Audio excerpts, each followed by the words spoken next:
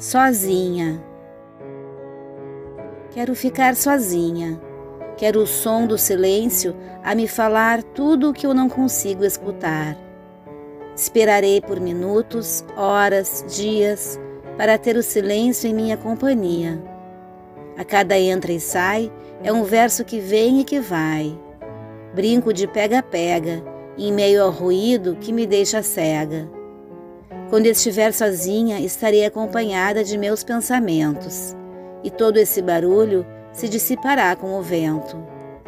Uma suave brisa envolverá o meu corpo, trazendo o sossego de que necessito.